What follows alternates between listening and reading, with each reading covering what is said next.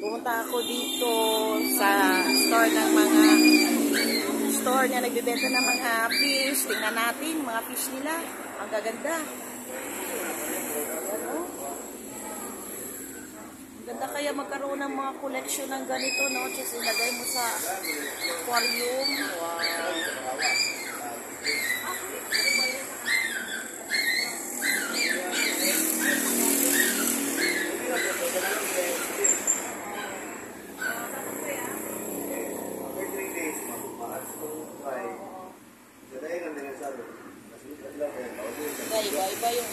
Nila.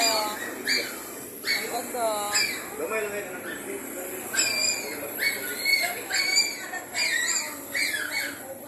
Piling cute, oh.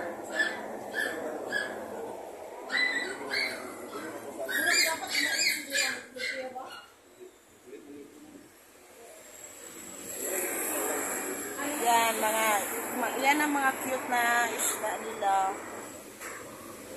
Mga binibenta.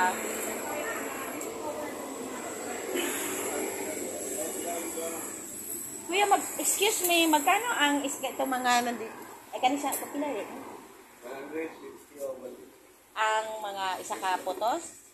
Ah, 150 or 100 or 150 ang isang supot. Excuse me, asaan yung 100 kuya? Taas? Ito?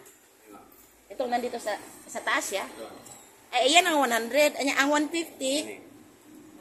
Ay, ang 150 ng matab itong tambok. Kani ang 100 eh. Ay. It kani? 100 pod. Ah, ang kaning itong mga maliliit 100, itong mataba 150 na medyo malaki-laki. At itong hindi mataba ay 100 din. Ito daw ano sa baba ito. Tatlo 100 yan. Kuya, kuya, tatlo 100 kuya no? Ang sao to? Tatlo 100. Ano, meron din silang fishnet. Then, mga ano, pang palamuti. And then, meron din sila mga dog, mga fish na. Kuya, ano nga gagmay man kaini? O saan siya fish food? Gagmay lagi, para ani. Medyo dagko lagi itong imot eh. Dagko to yung, yung dipalit. Mas dagko kay sa ani. Ah, dagko-dagko. Kani siya para sa mga gagmay, no? Mga babies. Ah, Babies. Pwede ka din, kuya. babies. Sa mga babies pala to na food, fish food. Sa mga babies, pareha ni Kuya kani. Para ani nila. Pila po ni Kuya? Beta, mani, beta. Ay, 20.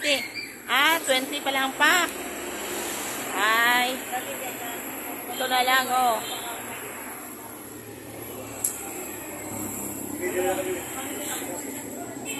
Kuya, pila ang fishnet?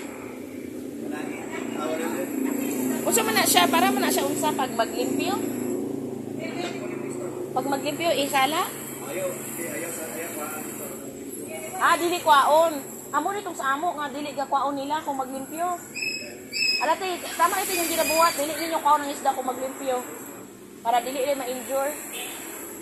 Ayan, hindi daw ako kunin. Pero ah, para asa din siya kuya? Ah, kanang imong asa magkuha? Ah, magkuha ka guya-waya sa kanang kana para ibahog nimo sa isda. Kanang naa sa kanang mga mga tubig na gikan sa ulan. Nya kwaon nimo ihatag nimo sa isda. Ay pwede may imong bahog ang guya-waya sa isda no? Ah, yun, para daw yan, ano, pag ku- kukuha ka ng mga larvae sa mga tubig-tubig para i, uh, tubig ng ulan na nasa, nasa drum, na, nasa drum, na mga tubig ng ulan, dahil kung may larvae doon, pwede mong ah, kunin gamit ang fishnet para ibigay sa mga isda. Para, kasi pwede din nila makain ang mga larvae. Ayan, ayan. So, maganda dito. Dito na tayo bibili. Okay.